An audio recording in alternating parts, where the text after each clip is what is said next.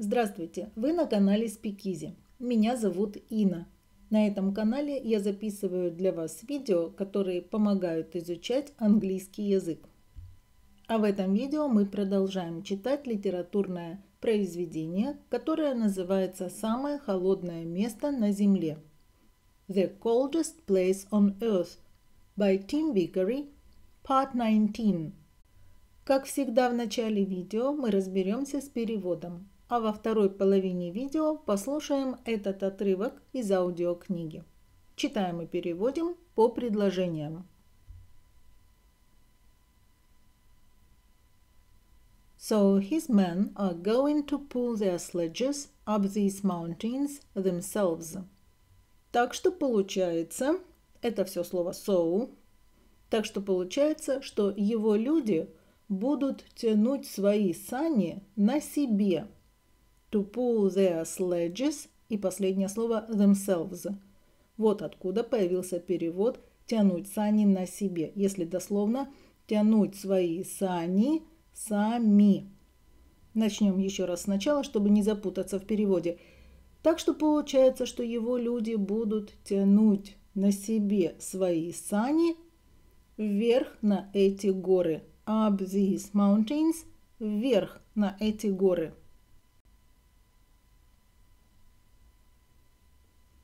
Would you like to do that, Улов?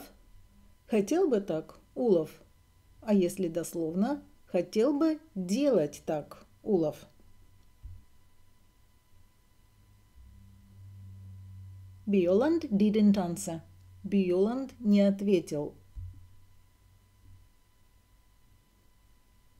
He smiled and skied happily away across the snow. Он улыбнулся и заскользил на лыжах радостно по снегу. А если переводить дословно skied happily away across the snow, скажем так, ехал на лыжах счастливо away прочь по снегу.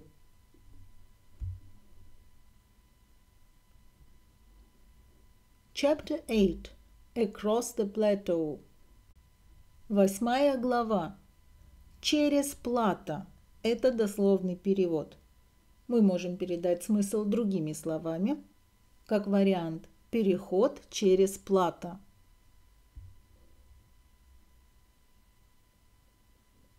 On November 21st, the Norwegians killed 30 dogs. 21 ноября норвежцы убили 30 собак.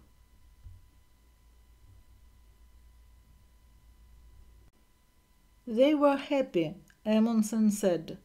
Они прожили счастливую жизнь, сказал Амундсен. А если дословно, they were happy, они были счастливые.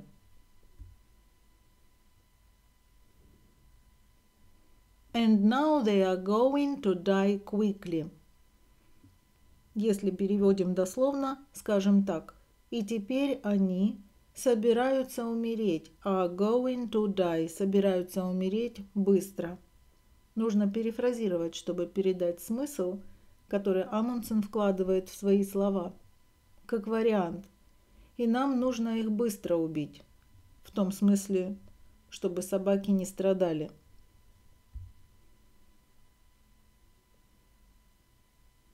We need three sledges and 18 dogs to go to the pole. Нам нужны трое саней и 18 собак, чтобы добраться до полюса.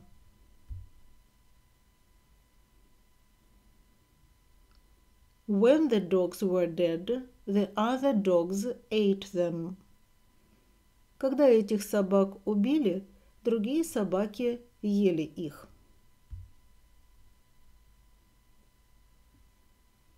The men ate them too и люди их тоже ели.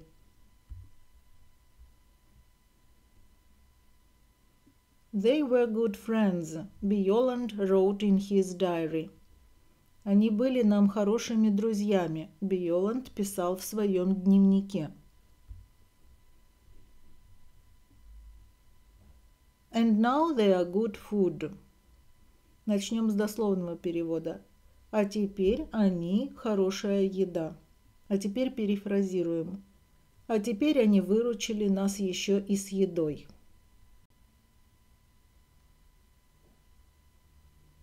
Two days later, the dogs were fed. Спустя два дня собаки растолстели.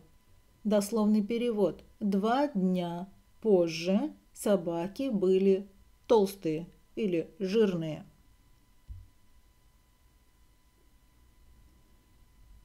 Then, in a snowstorm, they began their journey again. И потом, прямо во время снежной бури, они начали опять свое путешествие. After the snowstorm, there was fog, and in the fog they got lost on a nice river with hundreds of big holes in it. После снежной бури был туман, фог, туман. И в этом тумане они затерялись, got lost, затерялись на обледеневшей реке, в которой были сотни огромных провалов. Hundreds of big holes, дословно сотни больших дыр.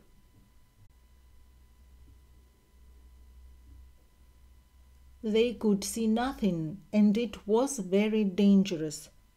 Они ничего не видели, и это было очень опасно. They could see nothing, если дословно они могли видеть ничего. То есть, иными словами, мы можем сказать, они ничего не видели или они ничего не могли разглядеть.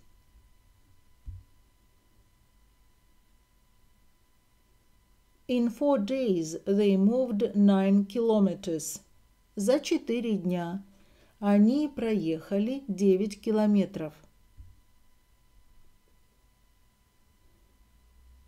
But the ice is beautiful, Bioland wrote.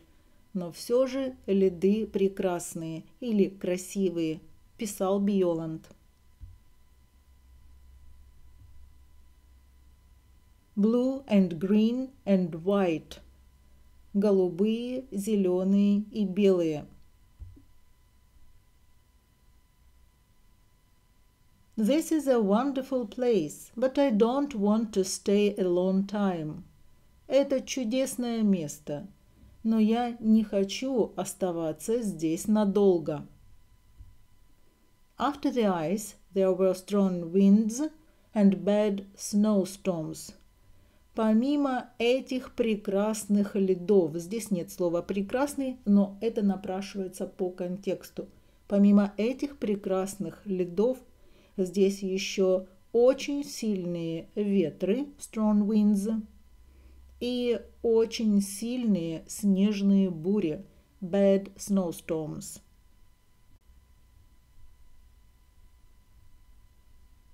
They could see nothing in front of them. Дословно, они могли видеть ничего перед собой. Перефразируем. Они ничего не видели перед собой. But every day they traveled 25 or 30 kilometers. Но каждый день они проходили 25 или 30 километров.